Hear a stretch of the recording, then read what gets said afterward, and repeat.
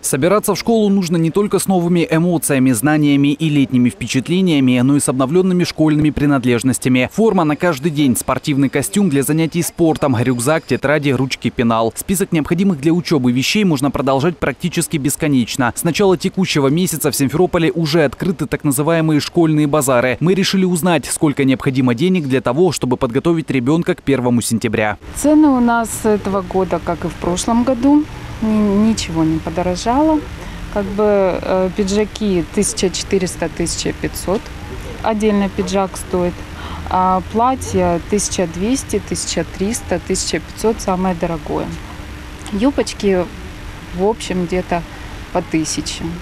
Так 800 есть, 1200. Спортивный костюм, жакет, юбка, блузка. По словам продавцов, на это у родителей в среднем уйдет тысяч семь-восемь. Но не стоит забывать и о других необходимых вещах. Казалось бы, канцелярия не требует больших финансовых затрат, ведь ручки и тетради стоят дешево. Но когда их количество оценивается десятками, в чеке появляется круглая сумма. Ну, тетрадки от 15 до 50 рублей. 12, 18, 24, 48, 96 листов. Ну, ручки тоже от 20 до 100 рублей. Карандаши все по-разному, от 80 до 550 рублей. Гуашь от 140 до 180. В среднем тысяч, наверное, 5 для первого класса, прям чтобы все купить. И тетрадки, и ручки, и краски, и гуашь, и пластилин, там, и фломастеры, альбомы, обложки, дневники. Где-то тысяч пять это все выходит. Галина Кузнецова сегодня пришла на школьный базар со своей внучкой. Женщина делится. Цены на канцелярию действительно высокие. Дешевле все это покупать в больших торговых магазинах. А вот одежда вполне приемлема. Однако все зависит от выбора родителей. Стоимость на школьную продукцию примерно одинакова. Количество же приобретаемых товаров – это вопрос, ответ на который таится в кошельке каждого покупателя. По ценам могу сказать, что тетради очень дорогие. Мы сейчас кофточку купили, полторы тысячи отдали.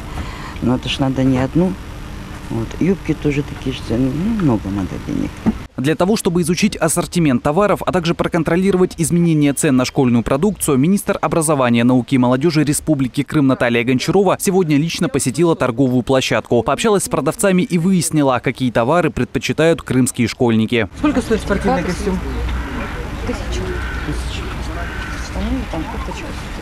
По сравнению с прошлым годом активность цены. покупательская. Ну пока нет, у нас смотря как жарко сильно. Жарко, еще, еще пика, пика ожидаем. А Да. ценовая политика ниже, да? Да, чем в том году, да. Спортивный комплект э, на ребенка 6-7 класса сколько стоит? Ну, можно за полторы тысячи кроссовки, костюм. То есть абсолютно доступная да. цена.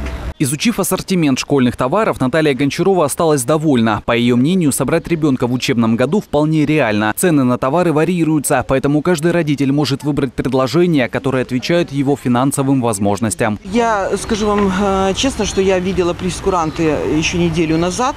И могу э, с ответственностью сказать, что практически ни на один товар повышения цены нет по сравнению с прошлым годом. Это действительно так. Что касается э, спортивных костюмов и обуви, намного больше ассортимент появился. Может быть, мы не все увидели на рынке, но есть и представлено в торговых сетях. Поэтому цены э, разбросаны от э, 500 э, рублей за кроссовки до 3,5 тысяч. Это уже выбор, конечно, родителей. Ассортимент очень широкий. Наталья Гончарова также подчеркнула, никто не имеет права заставлять родителей приобретать тот или иной товар. Речь идет о рабочих тетрадях, специальных пособиях или же дополнительных учебниках. На сегодняшний день крымские школы на 100% обеспечены всем необходимым. Егор Зайцев, Петр Куцый, служба новостей ИТВ.